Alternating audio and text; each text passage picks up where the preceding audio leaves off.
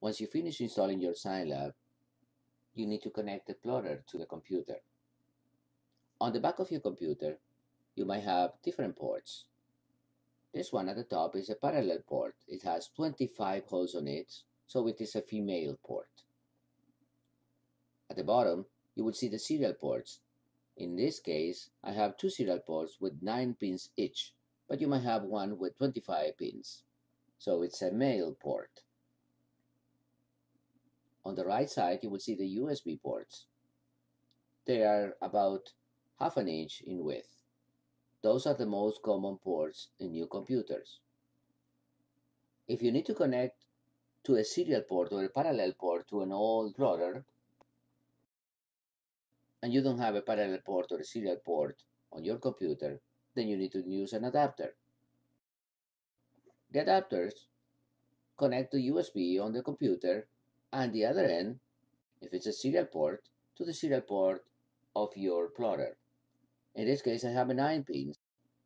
If my plotter has 25 holes, then I need to use an adapter. This adapter connects from the 9 pins to the 25 pins directly to the plotter. So you need to use both if you want to use just one cable, you can buy one cable that goes to the USB port on your computer to a 25 pins directly into the plotter. Make sure whatever cable you buy, it is compatible with Windows 64 bits if you have 64 bits in your operating system. It has to say on the package that it is compatible. Another option is to use a USB to a parallel port. Disconnect the USB to the computer and the parallel port goes to your plotter. Once you finish installing all this, then you go to File, Install, Current Devices, and you have to choose the driver for your plotter. Signlab provides a vast list of drivers here. I will go down to the Roland and I will select the PNC 1000. I click on next and the driver is installed. The driver allows the program to communicate with your plotter.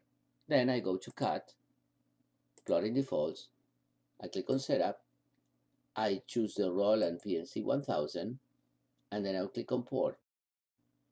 Here I have a list of all the ports available in my computer. And I have to select the one that belongs to the cable I'm using. In my case, I have a USB to serial port adapter. Normally those ports are at the top of the list. In this case appears as a COM6 and I can see here it says USB to serial bridge. I select that, I click on apply, OK, and I'm ready to cut. If you have a USB to parallel port adapter, it will normally appear at the end of the list as a non-printer USB 001 or 002 or 003 with a plus at the end. It might also say printer USB 001, 002, 003 plus.